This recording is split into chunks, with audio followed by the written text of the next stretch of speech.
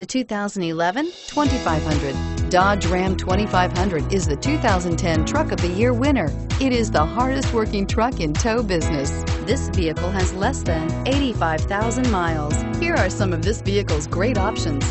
Dual airbags, air conditioning, power steering, four-wheel disc brakes, power windows, CD player, tachometer, tilt steering wheel, four-piece floor mat set, low tire pressure warning. Take this vehicle for a spin and see why so many shoppers are now proud owners.